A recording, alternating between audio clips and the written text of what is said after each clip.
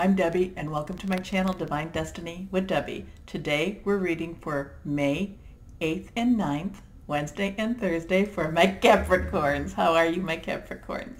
Okay, short reading. Yes, I posted my longer readings early.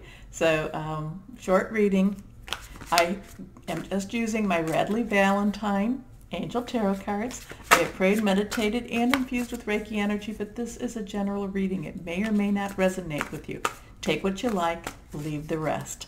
Please remember, because it does, it does help, please remember to like, share, and subscribe, and click on the little bell for future videos. Okay, so we're going to make this, we're going to go right into our readings, because I talk about a lot of things on the longer readings, but we're going to go right into the short reading now. Okay. Three cards down. Let's see what we have going here. We have the Ten of Earth. Earth, of course, is your your sign. It is your energy. It is your, you know, Taurus and Virgo also, but I'm feeling money. There's changes in your money. I'm thinking that it's going to be positive. There could be a little bit of a, of you kind of like closing your pocketbook a little bit and saying, no, no, no, no, no, I'm not going to be spending as much as I'm spending. But the thing is, I do feel like in the long run, and I know this is for Wednesday and Thursday, but I'm feeling like money will be coming to your pocketbook, okay? I know the pocketbook's an old-fashioned word. Don't know why I'm using it, except I feel like it's coming to you. Okay, this is about a very happy family life, financial security, finding magic in the little things in life. Again, I'm feeling like money is coming to you. I'm feeling like it's providing you with some security, I'm feeling that, um, you know, and that could be through a job, that could be through investments. I don't know why or who that's for, but it could be through investments. It could be because, you know, what you have put out.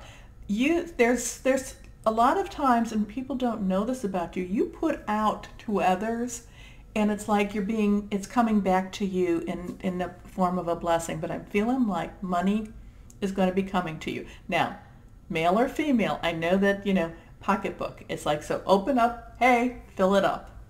Okay, next card is the world. Archangel Michael. Okay, Michael, of course, we know, you know, guardian, um, you know, archangel, warrior, protector, strong, you know, a job well done, joy, contentment, and gratitude, the path towards enlightenment. Yeah, I'm feeling that this Wednesday, Thursday again, it's like, it's like what you have been putting out into that either into the universe. It could be what you've been putting out on the internet for all i know. You know maybe you've been putting out um, you know job applications but it's like it's coming back to you. And it's it, you know it's like you've you've had these ups and downs in this past but it's like you're putting it out there you're keeping positive and now it's coming back. And again i keep feeling i keep seeing opening up. It's like you know, it, it's like, you know, like, like a satchel, okay? Maybe, you know, it's got like heart and it's like you're opening this up and I'm feeling like it will be filled.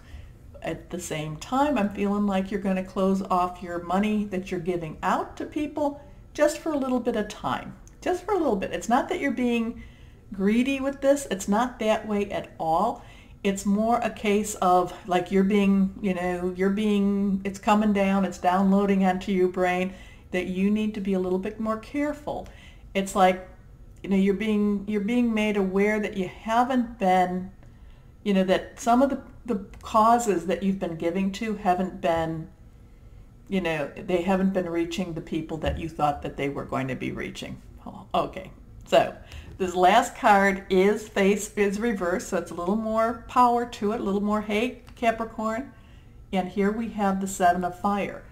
And that, of course, is our Aries, Leo, and Sagittarius energy, passionate, burning type of energy. And this is defend your beliefs and decisions, stand your ground, choose your battles wisely.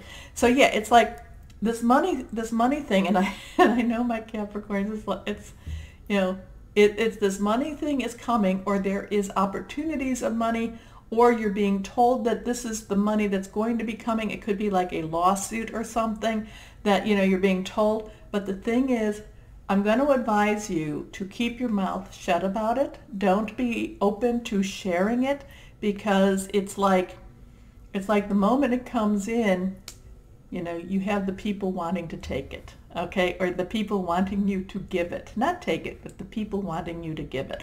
I don't know, you know, this is a little different reading for me, my, for my Capricorns, um, be, you know, but I'm just, you know, hold tight, hold tight, but keep the pocketbook open to receive, but not to give out. Okay? I hope that makes sense. I hope that somebody out there tells me, yeah, Deb, I got you on that. Well, I know somebody will, but as always, my Capricorns, know that you are loved and be blessed. Bye-bye.